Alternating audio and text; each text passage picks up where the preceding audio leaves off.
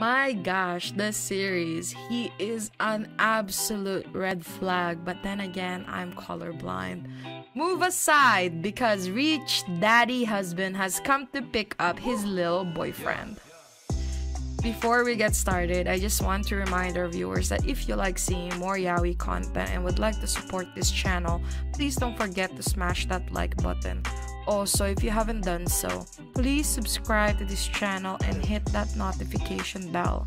Feel free to message me in my social media at Zealed Fujoshi, which I'll be using to interact with viewers about more yaoi content. If that's something that interests you, feel free to follow me at Zealed Fujoshi. Finally, this episode will contain explicit content and a lot of manhwa spoilers. With that in mind, please proceed with caution. You have been warned. Now, without further ado, let's jump into chapter 41 of Love Jinx. I feel the toxicity of this ship. The boy was obsessed and he's just trying to keep the protagonist as his possession. I sometimes really don't feel the love inside him really. Sometimes I do doubt he, the reality the yeah, the reality of his feelings because sometimes he's giving off this vibe that he's doing all of these as a revenge or trying to make him as his plaything. That's why like for quite a while like I kind of like Ki-hoon and Hae-gyung's interaction cuz I think that their chemistry is pretty good. And I always thought that um they would be love interests in this series. But then again a part of me is also thankful that Ki-hoon is not a love interest because Woo Jin would kill him. Oh boy. To be honest though like before Woo Jin's character appeared in the first season I really thought that Ki-hoon uh, is gonna be Hae-gyung's uh, love interest and I was actually kind of shipping their um, enemies turning to friends kind of trope. And, you know, Woojin came along and is like my my ga- my guy, you know. um, I don't know how I feel about having a love triangle uh, with these three characters. Woojin is hot and all, but bro, my gosh, like he is really possessive. Like a part of me is telling myself that no one really needs a boyfriend to be as possessive like that.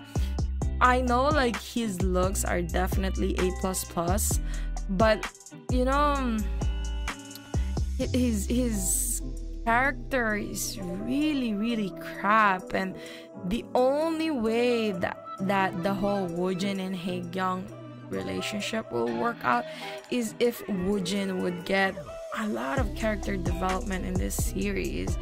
Yeah, like a little bit of it was cute at first, but he is turning into a freaking psycho this past couple of chapter like a total toxic guy a lot of red flags super obsessive but i don't know like a lot of us are still very weak for Woojin. Like I, I I wish like I can look away from Woojin and just consider Ki-hoon and Ye- as the main love interest in this story. But you know, this two clashing is gonna be really interesting because now now that it looks like Hae-gyung and Ki-hoon has made up, you know. it, it, it's it's making me worry because um I want to tell to Ki-hoon that he better stay away from Hae-gyung because man Woojin is crazy as hell like if he if Ki-hoon wants to live longer and not be burnt like Woojin's grandfather man you better distance yourself from Hae-gyung like run for your life as for uh, also i just wanted to point out okay um the art of the cover of Love Jinx has Woojin on it. But you know, the title is Love Jinx and it's about a, a kiss curse. But then again, on the first chapter, didn't Haegyung kiss Kihan? So wouldn't uh, Kihan also have the jinx? Anyway, um, Woojin with his new haircut. I think it's a new haircut. It looks shorter in this chapter. Um, um, but man, like his entrance in this chapter is sort of, I mean, it's really creepy.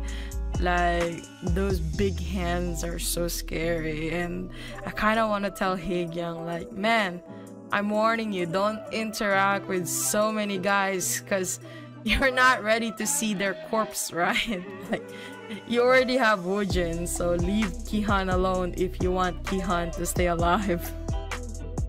Anyway, I hope you enjoyed today's episode. Please don't forget to follow my social media to be teased about some of the boys' love that I'm interested in. Feel free to leave me a message and converse with me in my Discord channel. I'd love to hear back from you. And please consider supporting the show by donating as little as 99 cents through www.zieldfujoshi.xyz. Also, don't forget to support the author. All the manual details can be found in the description below. Again, thank you so much and hope to see you next time.